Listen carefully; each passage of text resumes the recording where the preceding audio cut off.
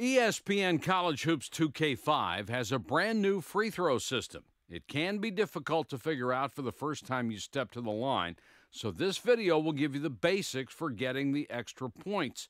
When you step up to the line, wait for the indicator to come up telling you you're ready to shoot.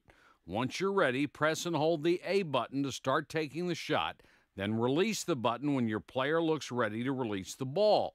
You have to watch your player carefully, and making the shot can be harder or easier depending on who's at the stripe.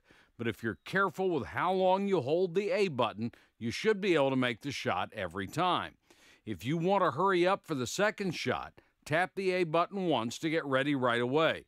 Be sure to press and release the button to skip the wind-up routine, then press it again for the actual shot. If the free throw system is a little too minimalist for you, press the start button to pause the game, choose options, then presentation. Turn the free throw meter on to get a visual guide to help you shoot the free throws.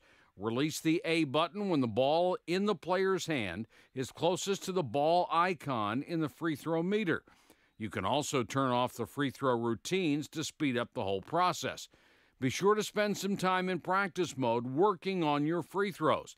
It will take some practice to get the timing right, but it's worth doing since the winner in a close game can be determined by the free throws. Good luck at the stripe.